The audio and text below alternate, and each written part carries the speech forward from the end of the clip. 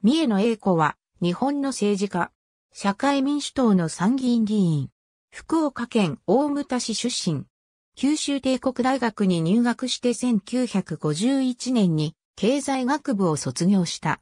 同年岩田屋に入り、労組書記長などを務めた。1962年日本社会党に入党。1983年筑紫の市議に初当選。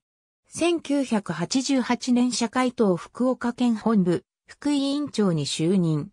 1990年の小野明参議院副議長の死去に伴う参院福岡補選に立候補して初当選。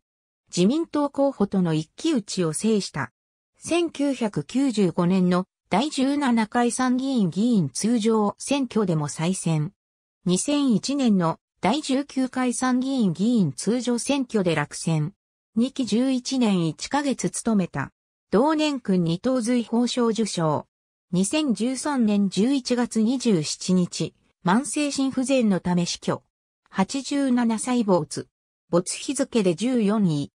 2001年秋の助君君3等以上と、在外法人、外国人助君の受賞者一覧、読売新聞2001年11月3日、長官、三重野英子さんが死去元参院議員。